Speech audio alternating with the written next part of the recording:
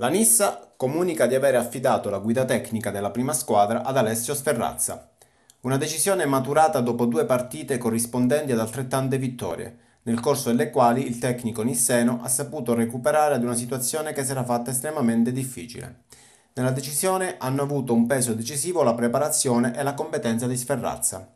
Oltre alla novità tecnica è stato nominato direttore generale Vincenzo Cancelleri, che raggiunto telefonicamente ha dichiarato di essere felice per questo nuovo ruolo, dove si impegnerà con tutte le sue competenze per il bene della squadra e cercherà di lavorare ad un futuro solido, mettendo le basi con l'aiuto e l'appoggio dell'imprenditore Luca Giovannone e spera che presto si potrà tornare a giocare al Marco Tomaselli.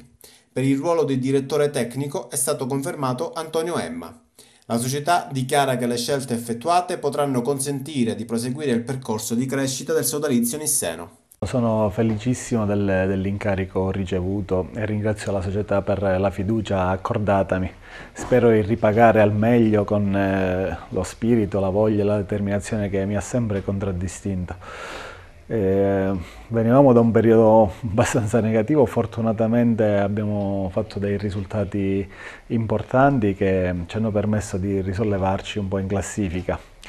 Adesso iniziano le partite più, le più difficili, le partite più dure. a partire da domenica contro l'Enna, una squadra che non ha mai perso. Eh, oltretutto sono andato a visionarla domenica Enna Mazzara e mi hanno, mi hanno impressionato però come ho detto ai ragazzi noi giocheremo tutte le, le gare per, per vincere o provarle a vincere, poi se l'avversario è più forte stringeremo la mano e faremo i complimenti.